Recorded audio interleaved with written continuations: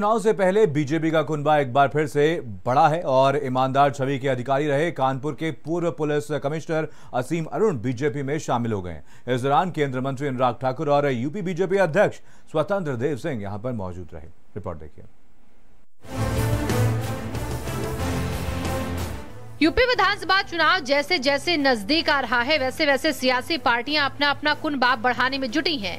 इसी क्रम में भारतीय जनता पार्टी में पूर्व आईपीएस अधिकारी एस मरुड़ ने लखनऊ स्थित पार्टी कार्यालय में बीजेपी की सदस्यता ग्रहण की। इस मौके पर बीजेपी प्रदेश अध्यक्ष स्वतंत्र देव सिंह और केंद्रीय मंत्री अनुराग ठाकुर मौजूद रहे। इस दौरान अनुराग ठाकुर ने कहा कि हमारी पार्टी में दंगा रोकने वाले शामिल होते हैं, सपा में दंगा कराने वाले। आज समाज के सामने, उत्तर प्रदेश के सामने स्पष्ट हुआ है कि भारतीय जनता पार्टी में साफ़ ईमानदार छवि के अधिकारी आ रहे हैं और समाजवादी पार्टी में दंगा करने वाले दंगई कईयों के खून चरंगे हुए हाथ वैसे जा रहे हैं। उनकी सूची नंबर वन, मैं तो कहता हूँ, सीट नंबर वन जो है, वहाँ पर उनके प्रत्याशी कौन? नाहिद हसन। कौन? जिन्होंने कईयों के खिलाफ दंगा करने का, अपराधी के मुकदमे होने का, पलायन को मजबूर करने का, इनको संरक्षण देने का काम किया है। यही फ़र्क साफ़ है। एक ईमानदार छवि,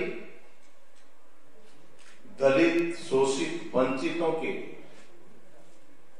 पिछड़ों के, न्याय के लिए, उनके सम्मान के लिए, उनका शोषण न हो उनके ऊपर किसी प्रकार का अत्याचार न हो। ऐसे असीम अरुण जी के परिवार के पिताजी भी डीजीपी रहते हुए भी अपना जीवन व्यतीत किया।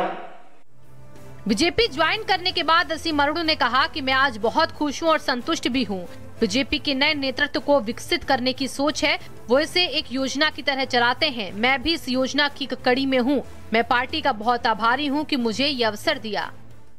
कई बार मैं इसको बोलता हूँ कि भारतीय जनता पार्टी एक लीडरशिप डेवलपमेंट प्रोग्राम एक नेतृत्व विकास कार्यक्रम की तरह है, जिसमें कि तरह तरह से नेतृत्व विकसित किया था और मैं भी इसी योजना की एक कड़ी हूँ। ऐसा नहीं है कि मैं पहला प्रोफेशनल हूँ जिनको जोड़ा गया है। मेरे और भी साथी सेवा के हैं बिज़नेस के, उद्योगों के साथी हैं जिनको भी जोड़ा गया है।